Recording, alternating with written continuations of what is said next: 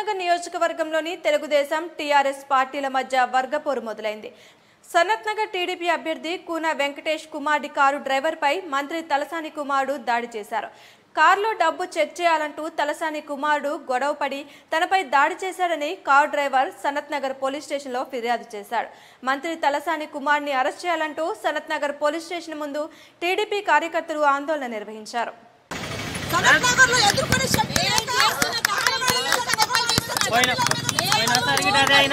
మనకి ఇక్కడ వచ్చే సీట్ అక్కడ డబ్బులకు మేమేం ఎరగట్లేదు ఎవరిని కొనట్లేదు. గల్లీ గల్లీగా ఓటేయండి. గల్లీ గల్లీకి వెళ్తున్నారు. లక్ష లక్షలు పడేస్తున్నారు. ఎవరి పది లక్షలు ఐదు లక్షలు పడేసి మనుషుల్ని కొంటున్నారు కొని పక్కకు వచ్చి ఏం చెప్తున్నారు తెలుసా?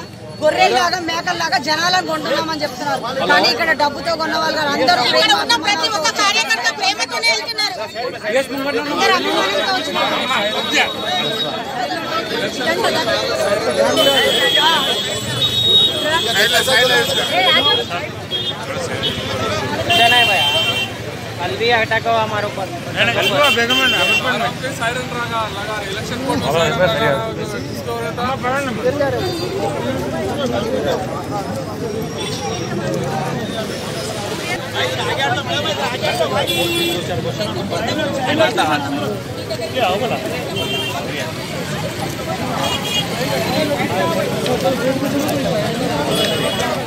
साइड में चलिए।